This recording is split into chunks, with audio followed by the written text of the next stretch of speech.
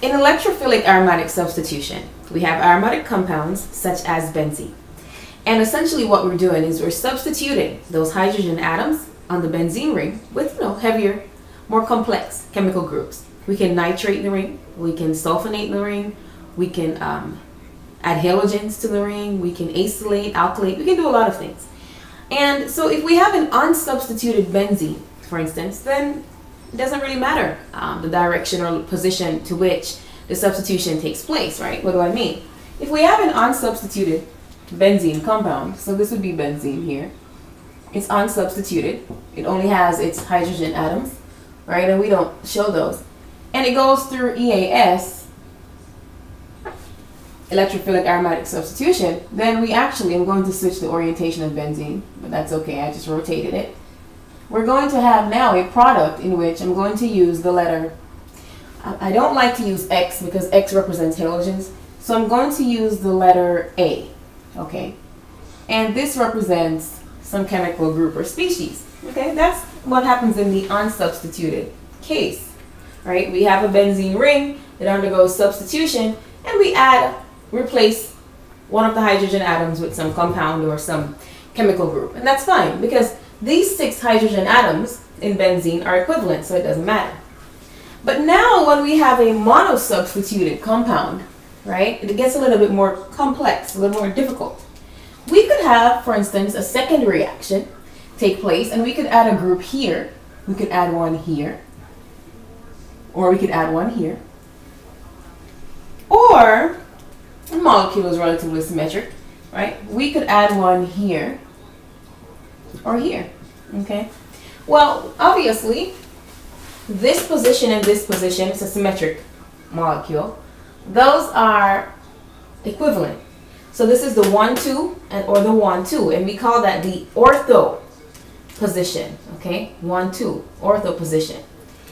This would be the 1, 2, 3, the meta, the 1, 3 substitution product. And of course, down here at the bottom, we have 1, 4. This is para, okay, 1, 4. So it's interesting, you notice how I put the green for both 1, 2, and 1, 4. Chemical groups that direct ortho substitution, also direct para. So chemical groups are either meta-directors, those that direct 1, 3 substitution, or ortho para, okay? They come together. Ortho and para go together. So either you will have something form two products, ortho and para. Generally, one will be more favored or they'll form the para, the um, sorry, the meta product, the one three product. Okay, what determines that? Well, it's about the the cation, the intermediates that are formed. Okay, some in, some groups stabilize the cation, the intermediate, and the best way to say it is some stabilize it by adding electrons to the ring. We say activating the ring, making it more reactive. Others actually destabilize the benzene ring. And so those that activate the ring or those that add electrons to the ring, okay, we call those activating groups, we would say that they are ortho-para-directors in general. Okay, so electron adding groups, the methyl groups, things that contribute electrons to the ring, will be electron donating groups. That's what textbooks usually say, electron donating, will be ortho-para directors. Those that withdraw electrons will be deactivators of the ring and they'll form meta products. Okay? So if we take out what we have, let's start at the bottom. We have this carboxylic acid group. When you look at this carboxylic acid, you see it's extremely electronegative, right? So imagine I have it attached to benzene, for instance, here. As you look at this, you can see there are electrons all over the place. Um, you can have, you know, electrons move up here, it doesn't matter. But these, okay, groups, okay, as a matter of fact, let's go ahead and draw B, which is very similar. Here we have, of course, OR, so it's an, you know, like an ester type thing. But they're very electron withdrawing. I mean, look, you have two oxygen atoms, you have double bonds. These are going to pull your electrons away from the ring. Another thing you should consider is the size of these deactivating groups. They're pretty big, right? So the likelihood of placing something right next to them is rather small. It's not favored. Okay, energetically, it's not favored, sterically, and in terms of stability of the anions that form during these types of reactions it's just not favored. So these very electronegative groups that pull electrons away, carboxylic acid ester formation, these are meta directors. Okay. Now let's look at the sulfonic acid. S double bond, double bond. I'm just drawing all these double bonds. Look at this. Does this look similar to this, right? Structurally. Now you, you have even more, um, you have even more electronegative atoms with even more lone pairs of electrons, right? So it's another big group, lots of electronegativity, you know, lots of electron density, withdrawing group. So it's another withdrawing group. Okay. Now it comes down to NO2 and NH2. And I can erase these. All right, now, and let's draw a nitrogen dioxide. NO2. It's pretty, it's not that big, it's bigger.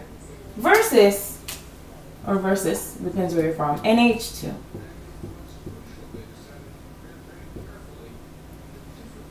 Okay? Look at that. And if I move this down here, you know, I can.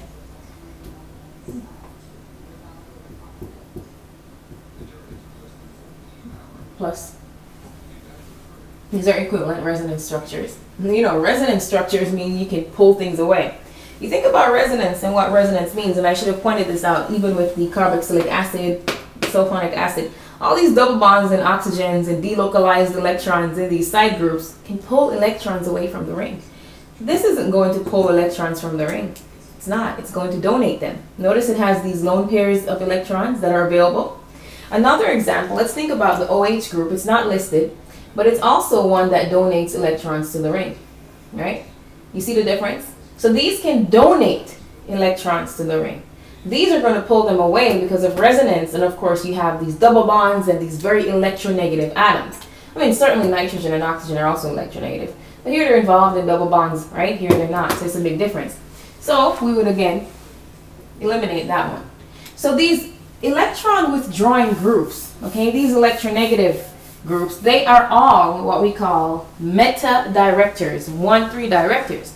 But those groups that can donate electrons to the ring, these rings, these activators, these are ortho para directors. And so if we wanted to, we could take this compound that I've drawn and do something like this if we wanted to make para products. Okay. There we go. Well, actually, well, I've already, this works. Um, another way to interpret this would be to run out of room on the board. To say I started off with that. Okay.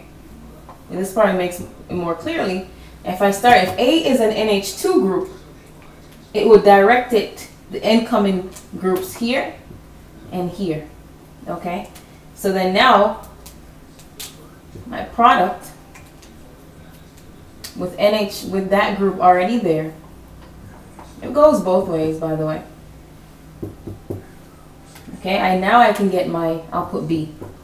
Okay, my ortho or my para or of course I'm using every single color under the rainbow. okay. So activating groups, groups that can donate electrons to the ring will be orthopara directors. Um, electron withdrawing groups, groups that are very electronegative, groups that have, of course, those double bonds and those electron carbonyl groups. All these electronegative atoms will be electron withdrawing and meta directors. So if you wanted to synthesize a compound, a disubstituted benzene that was, of course, had um, orth ortho or para, here in this specific specific case, para substitution 1,4, you'd use the amino group, okay? Not the nitro, not the um, carboxylic acid group here, or the other carbonyl group, or the sulfonyl groups, none of these.